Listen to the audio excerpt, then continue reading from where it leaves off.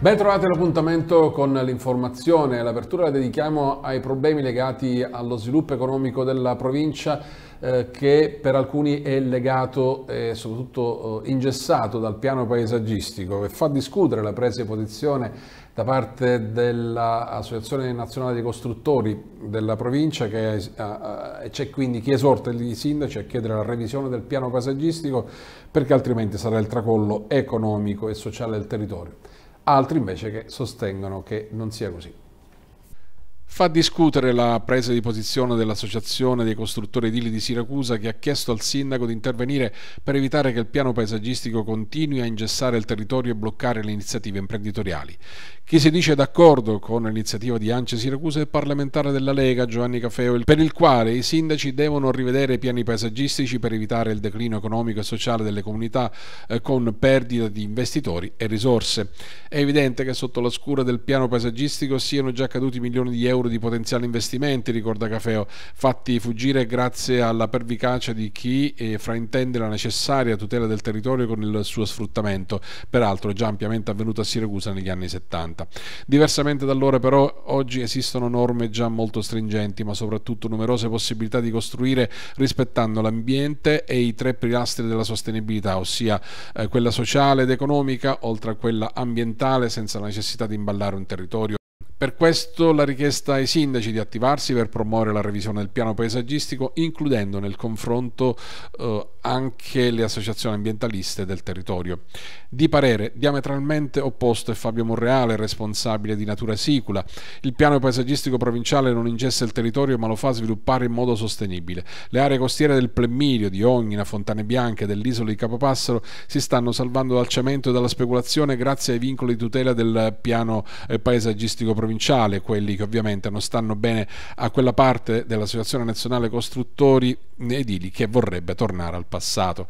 Monreale ricorda che gli ambientalisti non vogliono mummificazione del territorio, ma interpretando l'esigenza del momento e studiando gli errori del passato, pretendono il rispetto delle regole. Non è possibile, dice Monreale, tollerare l'irrefrenabile voglia di continuare a versare cemento in una città che è cresciuta a dismisura a livello urbanistico malgrado abbia subito una contrazione demografica.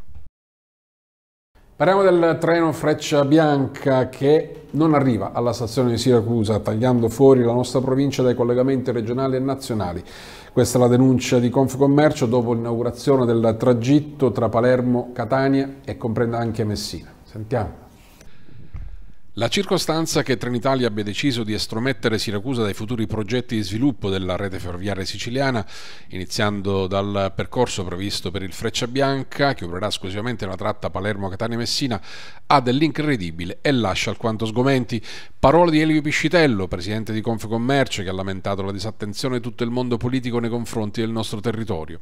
È un modello di sviluppo che non possiamo accettare, dice, negli ultimi anni la stazione è stata sempre più depotenziata fino ad arrivare all'odierno odierna inaccettabile scelta di declassarla di fatto a una stazione secondaria collegata da servizi regionali.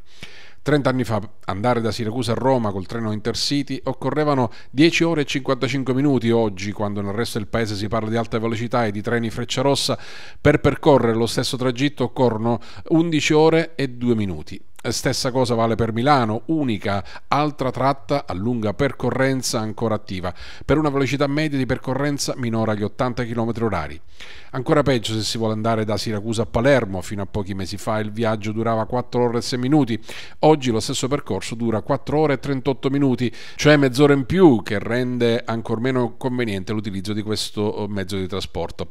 Anche questo per eh, Confcommercio è il frutto della scelta di declassamento della stazione Siracusa, i pochi treni diretti da Siracusa a Palermo sono costretti a seguire un percorso folle. La tratta attuale prevede un doppio passaggio per la stazione di Fontana Rossa, da qui i 30 minuti in più.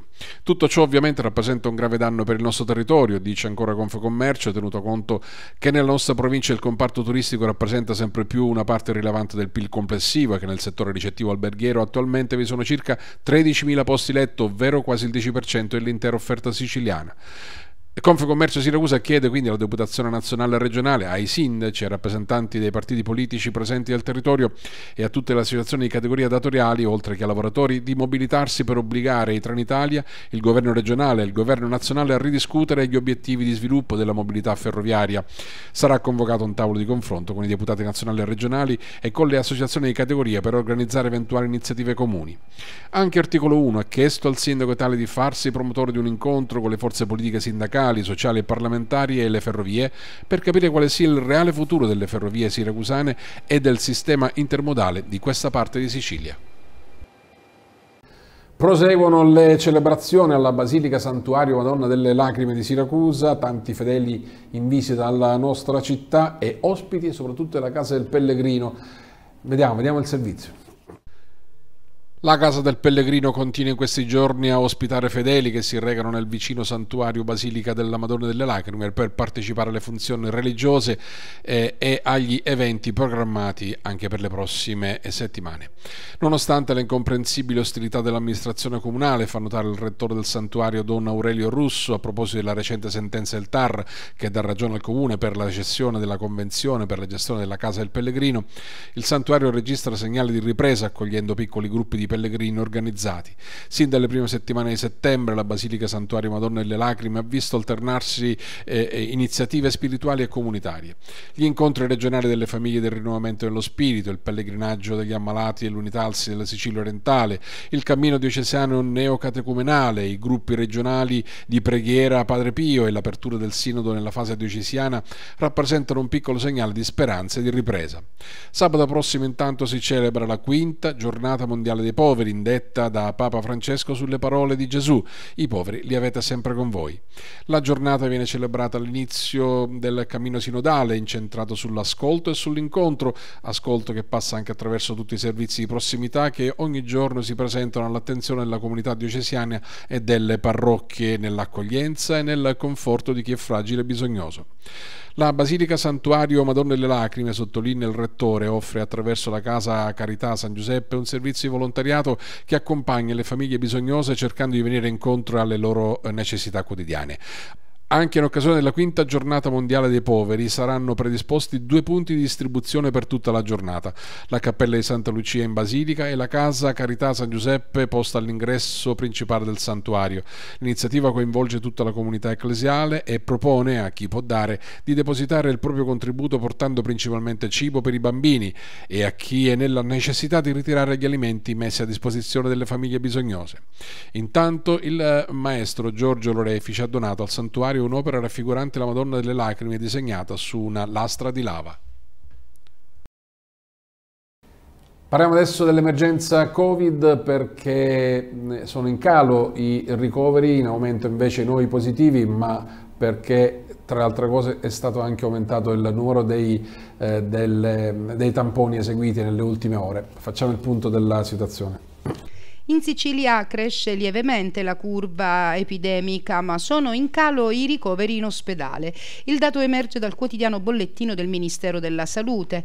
I nuovi casi di Covid in Sicilia diagnosticati nelle ultime ore superano di poco quota 500 e il dato legato al record di tamponi processati sono infatti oltre 33.000. Sono invece quasi 400 le persone ricoverate in ospedale in tutta la Sicilia. I nuovi casi nello specifico sono 504, ieri erano 416, con 11 morti, ma non in 24 ore, ma in diverse giornate. In ospedale ci sono complessivamente quindi 394 persone, un lieve aumento rispetto al dato del giorno precedente, delle quali 346 in area medica e 48 in terapia intensiva in tutta la Sicilia, due in più quindi rispetto all'ultima rilevazione. I tamponi processati sono stati 33.166 e il tasso di positività scende all'1,51% contro il 2,56% di ieri.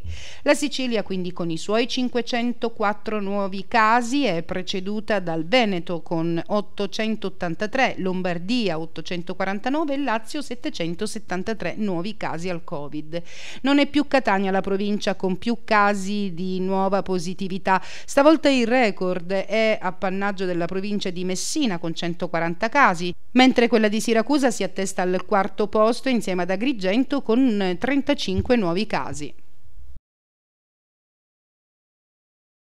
Rimaniamo in tema di Covid perché come sapete eh, non si potrà manifestare nei centri storici con cortei anche per le vie della città per esprimere il dissenso eh, consentiti invece solo i sit-in ma vediamo eh, cosa ne pensano gli organizzatori delle manifestazioni eh, che si sono svolte a Siracusa e che eh, sono anche in programma.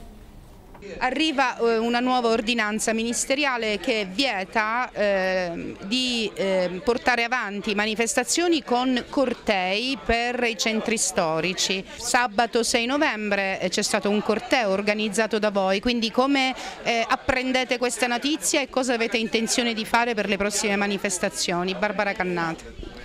Ma la notizia era prevedibilissima perché chiaramente la tenuta sociale è tanto tempo, non dobbiamo pensare solo a Siracusa ma a quello che succede in tutte le piazze italiane. È la misura che va analizzata che è estremamente repressiva e ulteriormente lesiva del pensiero delle minoranze e della libertà di espressione del pensiero, cioè questa criminalizzazione del dissenso genera dei trattori di opinione, eh, ma non è un problema, si asseconda il linguaggio del governo, si cambia strategia. Si è parlato anche di ehm, innalzamento dei contagi a Siracusa, su Siracusa e provincia, parliamo su 21 comuni della provincia di Siracusa.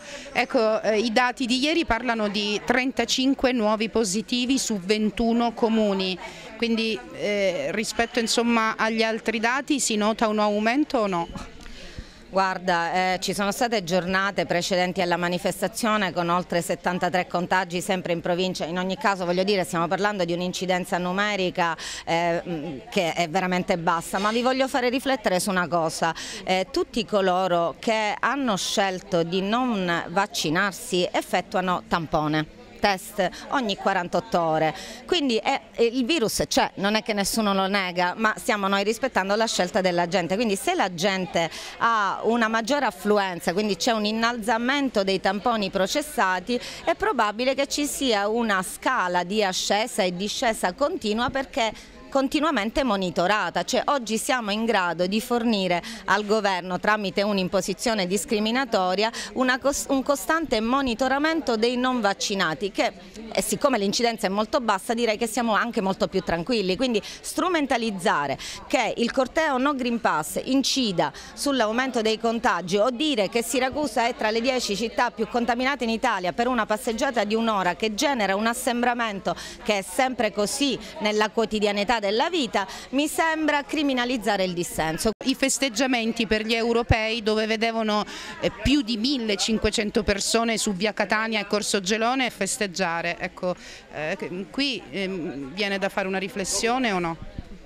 Più che una riflessione viene da fare, cioè abbiamo scientificamente compreso che il virus circola solo dove si manifesta il, dissenso, quindi la scoperta scientifica vorrei utilizzare l'ironia per dire che eh, se è, è proprio l'attribuzione, una virgola cambia il senso delle parole, non ho niente da aggiungere al pensiero e alla domanda perché è così, lì sono immunizzati, qua no. Ecco, rispetto eh, alle nuove regole ministeriali, quindi le manifestazioni eh, qui a Siracusa come si organizzeranno? Il dissenso continua e la protesta continua, qui si farà anche una scelta tra chi la vuole fare in un modo e in un altro modo, io non posso obbligare nessuno, sicuramente il nostro comitato, la nostra associazione, anche il nostro programma Movimento di Pensiero prevede, ha sempre previsto e visto nelle manifestazioni la libertà di espressione, quindi noi continueremo a veicolare. Il nuovo provvedimento ministeriale che vieta le manifestazioni no Green Pass eh, con cortei nei centri storici, le motivazioni riguardano i disagi soprattutto ai commercianti e, e al e potenziale aumento dei casi Covid. Abbiamo chiesto ad alcuni eh, negozianti siracusani se effettivamente hanno oh, subito danni in queste, eh, in queste giornate in cui si è manifestato a Siracusa. Una nuova ordinanza nazionale vieta i cortei no Green Pass per le vie delle città italiane. Eh, sostengono per l'aumento dei contagi ma anche per i disagi eh, che eh, sono stati arrecati ai commercianti nelle zone dove appunto si sono svolte le manifestazioni. Siamo in Corso Gelone eh, questa mattina per chiedere proprio ai commercianti se si sono sentiti danneggiati o c'è stato un decremento delle vendite al passaggio del corteo No Green Pass che ehm, si è svolto sabato 6 novembre qui a Siracusa. Andiamo a chiedere. Vi siete sentiti danneggiati dal corteo che è passato sabato 6 novembre qui dal Corso Gelone?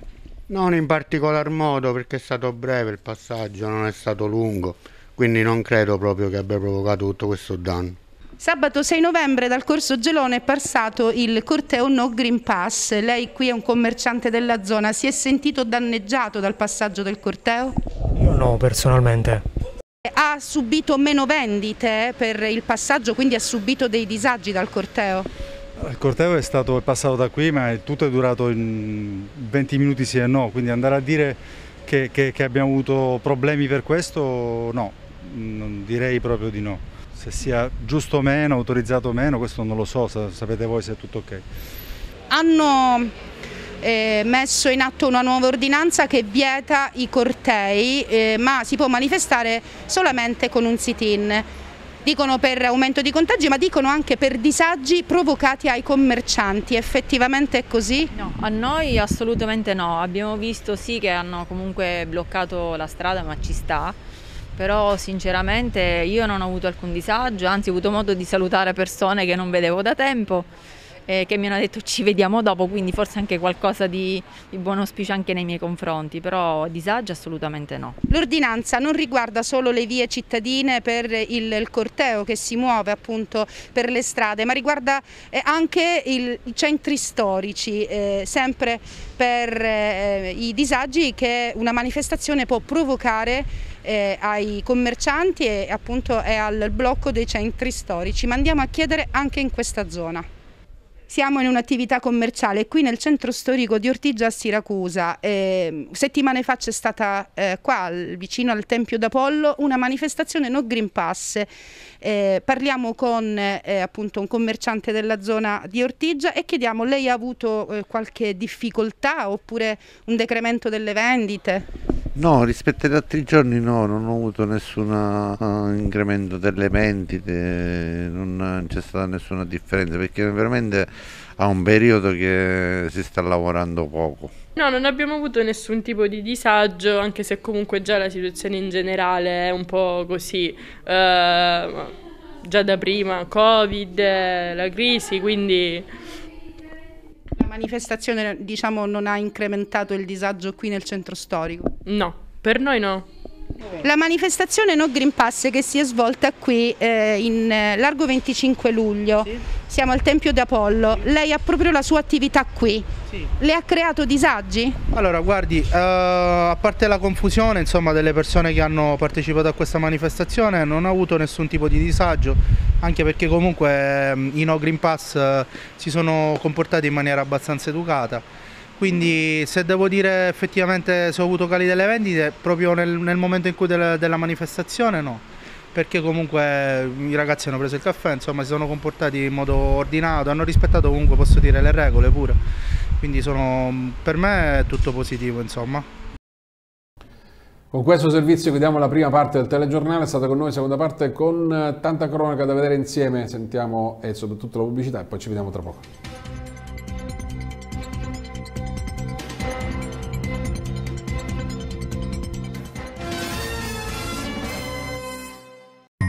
Colazioni da bar, pranzi e cene da ristorante, dessert da pasticceria, ma tutto a casa tua. Dai Glue, vasta scelta di prodotti surgelati, dal pane, primi, secondi e contorni sfiziosi. In questo momento in offerta, treccia vari gusti 50 centesimi, patate a fette vari tipi 1,20 euro al chilo, panzerotti ripieni 7,50 euro al chilo, merluzzo decapitato 5,90 euro, gambero 10,90 euro, pesce spada 8,50 euro al chilo, calamari 12,90 euro meno 20% su tutto il reparto verdure. A Siracusa in Viale Tica 109. Fai il carico di bontà. Il mondo igloo ti aspetta. Qualità, professionalità e tecnologia sono le caratteristiche che contraddistinguono Physiorem Medical Center, una struttura polidiagnostica con più di dieci anni di esperienza, specializzata in diagnostica radiologica e riabilitazione fisica che si serve di attrezzature e strumentazioni all'avanguardia. Il sistema di risonanza magnetica OpenMark 5000 rappresenta la nuova generazione di risonanza magnetica a medio campo questo sistema combina le elevate prestazioni dell'alto campo con il vantaggio di un'architettura aperta. Questo permette di ridurre sensibilmente la sensazione di ansia del paziente. Dotarci di questo macchinario ci permette di ampliare la domanda di esami diagnostici per quanto riguarda l'osseo articolare. Adesso riusciamo a dare anche un'offerta per quanto riguarda la parte neuro. Physiorem Medical Center, la trovi a Siracusa. La vita è la somma delle scelte che decidiamo di fare ogni giorno. Scelte a volte facili, altre meno. Uscire di casa o farsi consegnare l'ordine. Pesce fresco o surgelato. Carne o vegetali. Vino o birra. Alcune di queste scelte ci porteranno a vivere momenti speciali che ricorderemo per sempre. Questi momenti sono fatti della qualità dei dettagli che li compongono. Che tu sia un privato o un utente professionale, che tu scelga di cucinare per amore o per passione, scegli Alta Sfera.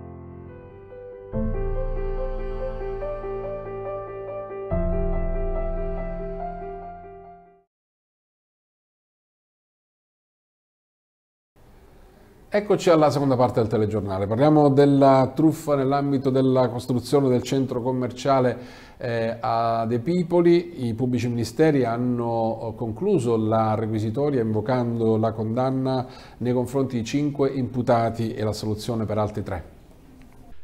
Per i rappresentanti della pubblica accusa vi sarebbero specifiche responsabilità in capo a cinque degli otto imputati nell'ambito del processo scaturito per le presunte truffe nella realizzazione del centro commerciale di Viale Pipoli.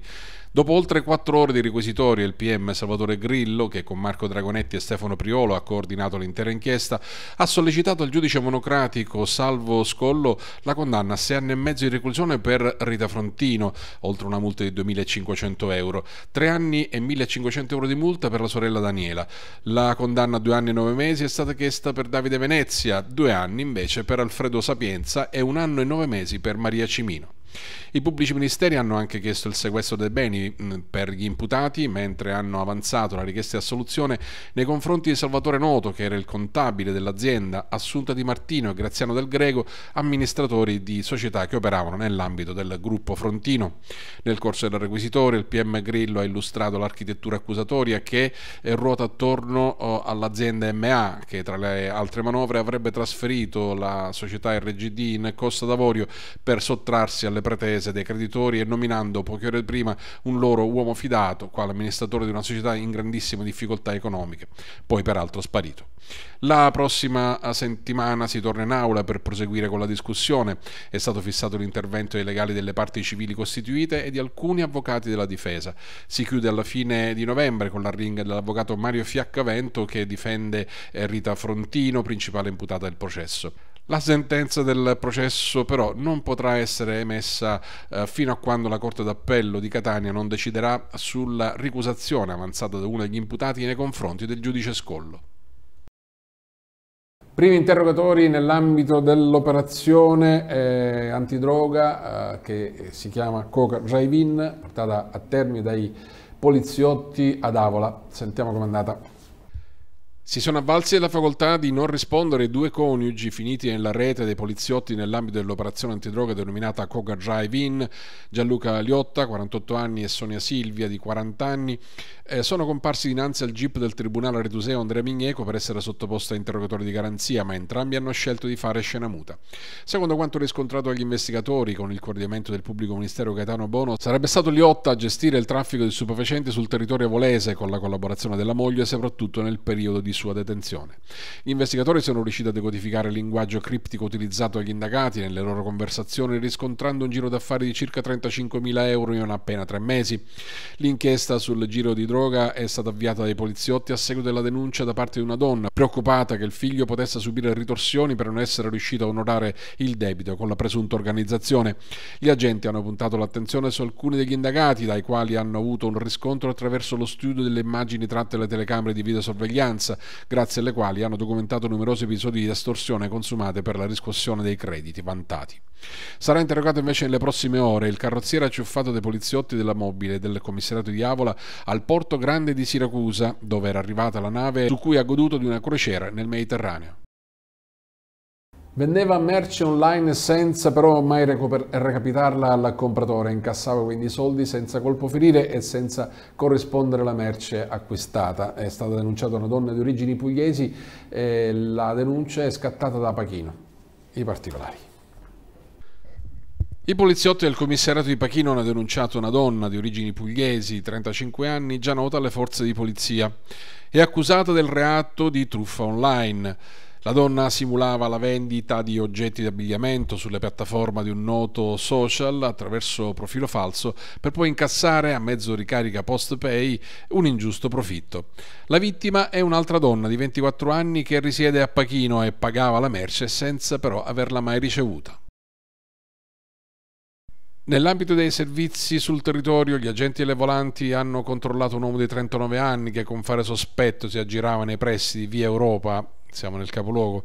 Nel corso di una perquisizione, nella disponibilità dell'uomo è stata trovata una modica quantità di sostanza stupefacente, in particolare cocaina, ed è stato quindi segnalato alla uh, autorità amministrativa e quindi alla uh, prefettura di Siracusa. Nel tardo pomeriggio i poliziotti volanti hanno intercettato a bordo di una moto nei pressi di Piazza Cosenza un minore di 16 anni che alla vista della polizia eh, che gli intimava l'alt è fuggito. È stato bloccato poco dopo e il giovane così è stato denunciato per resistenza a pubblico ufficiale oltre che sanzionato amministrativamente per le violazioni al codice della strada. Sarebbero di un uomo di 50 anni di età i resti umani ritrovati dai militari del soccorso alpino della Guardia di Finanza eh, in una grotta alle pendici dell'Etna. Il giallo è, è tutto da scoprire. Resti umani risalenti ad almeno 40 anni fa sono stati trovati dal soccorso alpino della Guardia di Finanza Nicolosi in una grotta lavica alle pendici dell'Etna. La scoperta è avvenuta nel corso di una delle esercitazioni nel territorio di Zaffarana Etnea che eh, vede impegnati i finanzieri eh, con le proprie unità cinofile. È stato il cane da ricerca e soccorso Alma un brillante pastore tedesco a dare l'allarme perché abbaiava e dava evidenti segni di interessamento eh, all'indirizzo di una grotta che è presente nella zona delle operazioni. I militari si sono così concentrati nell'anfratto segnalato dal cane che si presentava particolarmente stretto e accidentato, introducendosi dello stesso anfratto dove hanno trovato i resti umani, le cui pessime condizioni hanno da subito fatto capire che il cadavere era lì da moltissimo tempo. I rilievi sono stati effettuati alla sezione investigazioni scientifiche del Comando Provinciale dei Carabinieri di Catania, mentre i resti sono stati trasportati all'obitorio dell'ospedale Cannizzaro.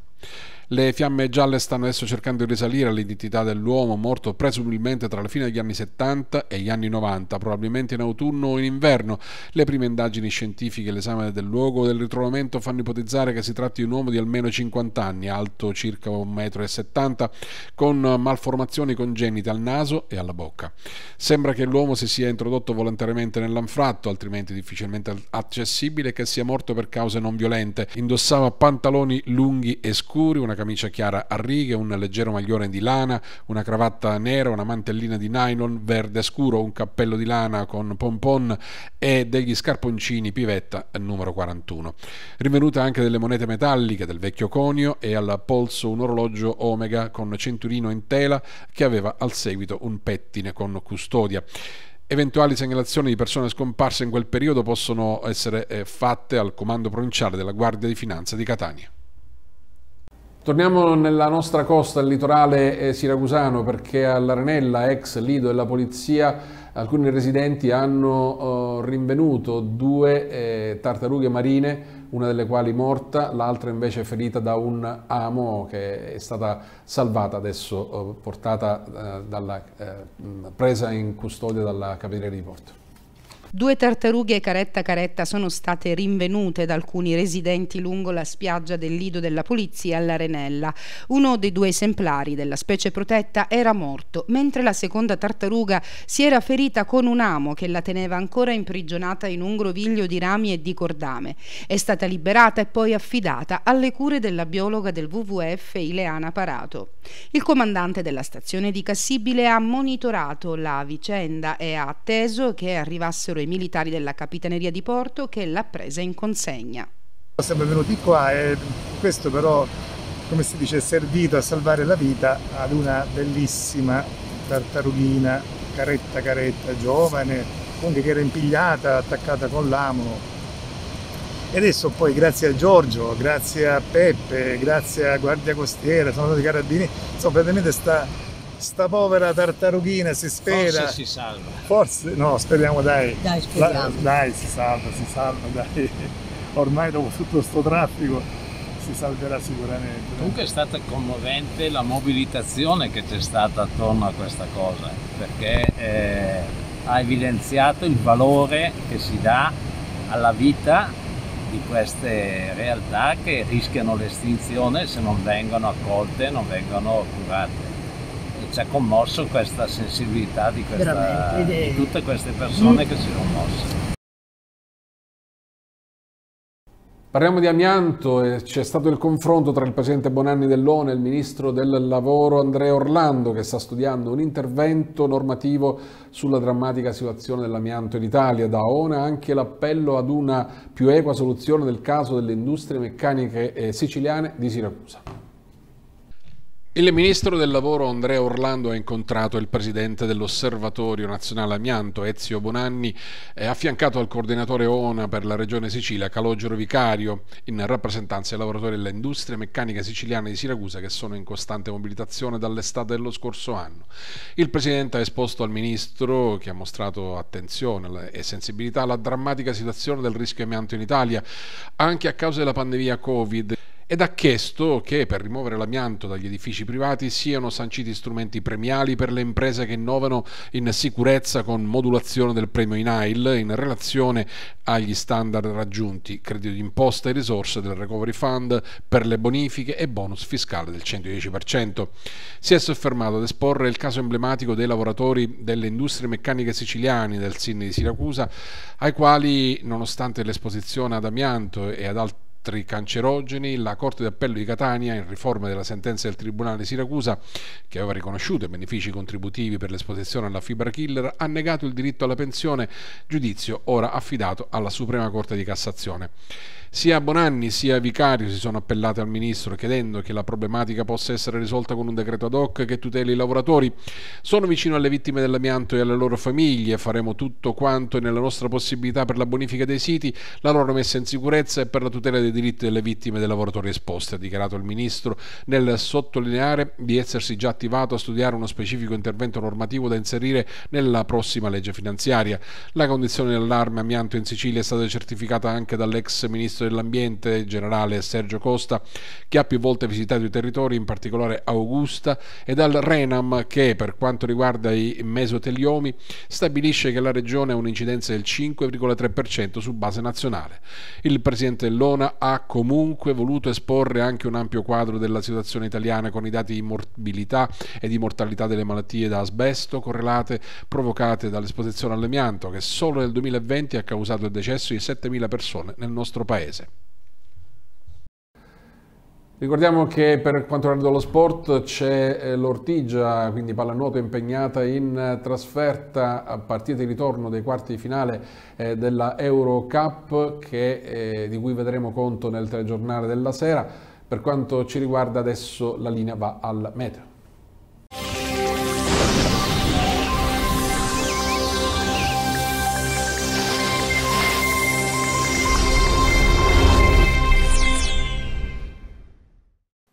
Un saluto e ben ritrovati con le previsioni di Trebi Meteo. Nella giornata di giovedì l'Italia continuerà ad essere disturbata da questo vortice ciclonico che insiste ormai da diversi giorni sul Mediterraneo occidentale, determinando ancora una situazione di instabilità in modo particolare tra le isole maggiori e i versanti tirrenici.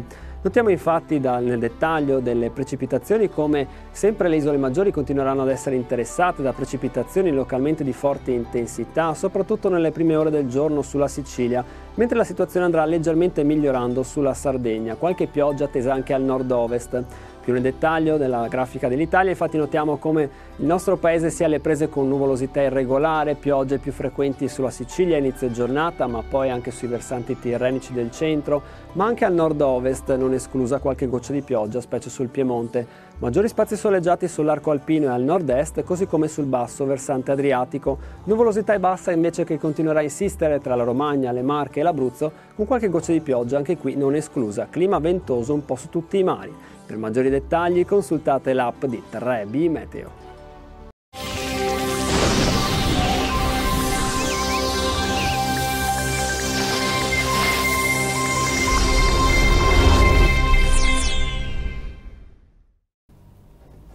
Con le previsioni meteo si chiude questa edizione del telegiornale, vi ringraziamo per averci seguito fin qui, appuntamento alle prossime edizioni, arrivederci.